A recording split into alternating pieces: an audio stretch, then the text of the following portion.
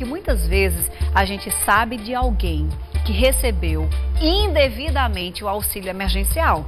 E aí tem gente que acha engraçado, fulano nem precisava e recebeu. Tem gente que fica indignada, não é? Como é que pode, enquanto milhares, milhares de pessoas não receberam por e, e tinha necessidade de receber, não recebeu? Como é que a gente faz para denunciar? E como é que a gente faz para devolver? Teve gente que se cadastrou e se, na verdade, se arrependeu, né? O auxílio emergencial de 600 reais do governo federal foi pago, gente, a 620 mil, 620 mil brasileiros que não tinham direito ao benefício. Eu não estou falando de quem tinha, não, é de quem não tinha. Você imagina aí. 620 mil pessoas que não deveriam ter feito cadastro.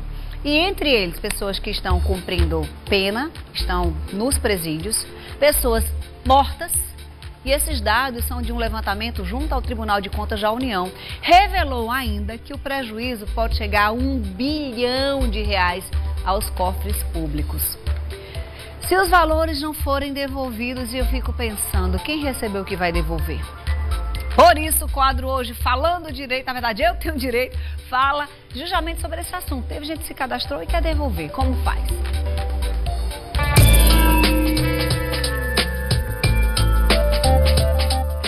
Sheila Sodré, boa tarde. Seja bem-vinda, amiga, ao Com Você de hoje. Boa tarde. Então, deixa eu registrar o meu carinho por você também. Eu tô morrendo de saudade de tu, mulher. também estou morrendo de saudade dos nossos encontros semanais aqui ao vivo, nos nossos encontros também no Rotary Clube João Pessoa Norte. Enfim, estamos com saudades e essas lives amenizam um pouco mais, mas não termina de jeito nenhum. Sheilinha, a gente tá falando sobre, vai falar agora sobre um assunto aqui no programa que eu jamais imaginaria ter que abordar. Num momento Verdade. de pandemia, num momento em que milhares de brasileiros estão com a sua renda comprometida, o governo dá a contrapartida de atender essas pessoas, mas 620 mil pessoas receberam indevidamente. Então vamos começar pelo princípio de eu não me enquadro nas exigências para receber o auxílio e Isso. vou lá e me inscrevo para receber o auxílio. Só essa inscrição já não configuraria crime?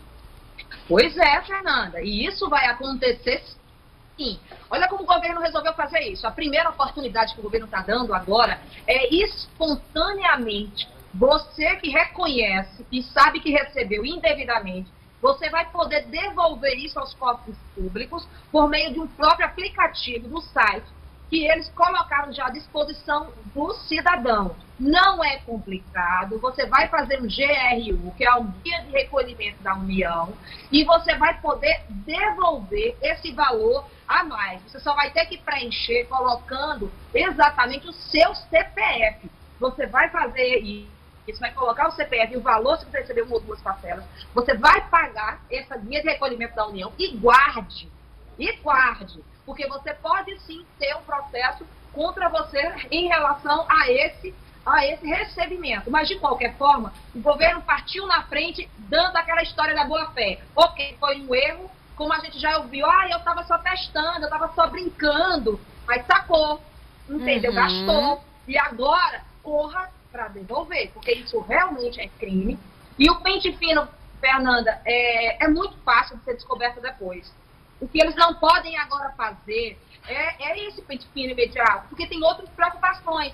Mas o Ministério Público né, já está realmente, junto com a própria a Fazenda Nacional, fazendo esse levantamento. Uhum. Entendeu? Então, assim, isso vai acontecer. Então, essa é a primeira oportunidade de você, de forma tranquila, devolver. Agora, Sheila, minha dúvida é: ok, a pessoa agiu de má fé, porque não veio achar que é uma brincadeira, nem que estava testando o governo. Você não faz parte da TI do governo. Você não é um. Né? Então não tem necessidade de você testar. Por favor, deixa o teste para quem trabalha no desenvolvimento Verdade. da plataforma, o pessoal da DataPrev. Essas pessoas deveriam fazer os testes para ver e mesmo assim não iriam sacar o dinheiro. Então, se você se cadastrou para fazer teste, mas sacou o dinheiro, agir de má fé. Não tem outra defesa. E olha que eu costumo, e olha que eu costumo ser advogada do lado de cá. Advogado é ali, mas eu também costumo defender o povo do lado de cá. Dessa vez não tem defesa. Mas, Agora, Sheilinha, o sistema... Você está fazendo uma coisa que é extremamente legítima. Uhum. Nesse caso específico, quando a gente fica indignada com o número e com as pessoas que receberam é, indevidamente isso, eu estou falando de mim como cidadã, Sim. como aquela cidadã que, que realmente eu olho para o outro que precisa e fico indignada desse valor não chegar para essa pessoa. Ou então do governo não ter condições, por exemplo, que agora vem a próxima, a, a questão tá se vai prorrogar ou não até dezembro, como que é o Senado. O governo atual, ele quer apenas estender para três meses, e vai, vai reduzindo, né? De forma de, é, é, é, vai ser 500, ele vai dividir. 500, 300, O 200. Senado, isso. O Senado quer que seja 600 até dezembro. Então, está uma negociação aí. Então, isso ainda vai acontecer. Mas se as pessoas, como você falou muito bem, tiveram servidores públicos, servidores públicos que se cadastraram, entendeu? Então, assim, existe também uma que você falou, que muita gente até morta, pessoas que também usufruíram, fraudadores. E aí o indivíduo que está numa situação dessa, ele tem que se precaver até isso, para poder provar que não foi ele. Uhum, também tem esse... Então, olha bem. Agora, Sheila, eu fiquei pensando aqui também, não é um erro do sistema também liberar esse valor para quem não precisa?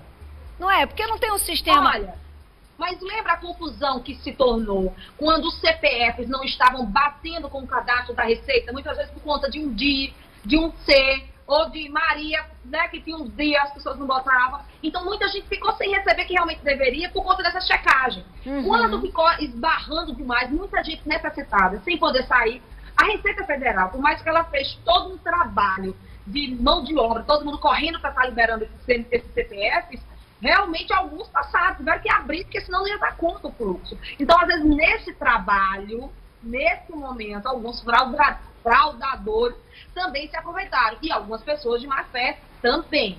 Então, a oportunidade, Fernanda, é essa. Não, está é, simples. Você viu que teve gente perto, que foi para a imprensa, pais que foram pedir desculpas por filhos que fizeram isso em padrão financeiro alto. Sim. Eu acho que a gente com a vergonha daquelas, né, de ter feito de ter passado por isso, que eticamente eles né, sentiram abalada a sua moral. Mas o ideal é esse, o governo já disponibilizou. Ou seja, imprime a guia. Aí uma dúvida é: a guia é no valor do, do dinheiro liberado ou tem algum tipo de juro, alguma coisa? Não, até então é sobre Opa, Sheila recebeu Ai, alguma ligação aí. Ah, pronto. Foi, foi, exatamente sobre o valor liberado, Fernanda. Entendi. Não tem custo até então. É o valor, é isso que eu digo assim, quando você faz de forma espontânea, aí aquela história, né? Por mais que seja, eu acredito, Sheila, que vá ter alguma penalidade. Mas por mais aí, que você tenha. É, você. É o que, Dezica? Ah, tá.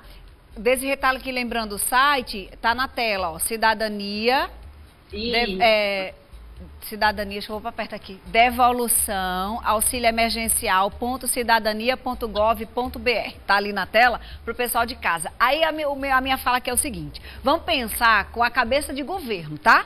Você agiu indevidamente. É, com a cabeça do governo ali. Então, o camarada agiu indevidamente porque não só se cadastrou, mas também sacou o dinheiro. Sacou o dinheiro, efetivamente pegou na grana, teve intenção de receber indevidamente esse valor. Aí, Olha. puxa, chegou ali a consciência, pesou, se arrependeu, devolveu. Eu acho que vai ser um tipo de penalidade ali, entendeu? Não, olha, olha. Vamos próximos capítulos, que o Ministério Público vai fazer esse pente fino. E eu acredito que ele vai dar, claro, prioridade para quem não devolveu. Porque, Fernando, é muita gente 620 mil pessoas. uma demanda desse jeito. Então, é. eu acho que pela lógica, eles vão sim fazer um pente fino, vão sim. Mas eu acho que vão dar prioridade realmente a quem não devolveu, a quem realmente fraudou. E às vezes, é isso que eu digo, muitas pessoas podem ser envolvidas nisso. Gente que perde documento, meu Deus, que também esses fraudadores não têm uma agilidade, Verdade. então se, né, se previna em relação a isso. Sheila Sodré não vai embora, Mas tem não. mais, Fê. Não, você não vai embora, não. Eu vou parar aqui pra gente. Calma, você não vai embora de jeito nenhum. Você volta daqui a pouquinho com mais informação, tá bom? Tá, e sabe uma coisa, Fê, Sim. importante? Hum. Até as pessoas que receberam de boa fé, tipo as pessoas do MEI, cabeleireiras, elas podem em 2021 ter que devolver também. É sobre isso que a gente continua no nosso papo já já. Chama todo mundo para ficar ligado com você, que aqui a informação não para. Um beijo, amiga, até já. Sheila Sodré volta Até, aqui no programa pra gente que tem mais assuntos envolvendo isso, tá? A minha enquete de hoje, que é justamente saber, você conhece alguém que recebeu o auxílio sem ter necessidade? Porque, gente, o que é que tá acontecendo? Tem gente que vai pra, fala no grupo, olha, eu recebi, se achando o máximo, né? Tem gente que recebeu e ficou caladinho. Você conhece alguém? Hashtag sim ou hashtag não. Fica tranquilo que aqui não tem nenhuma intenção de divulgar nada, de fazer nada. A gente só quer saber como é que é o comportamento do paraibano, tá?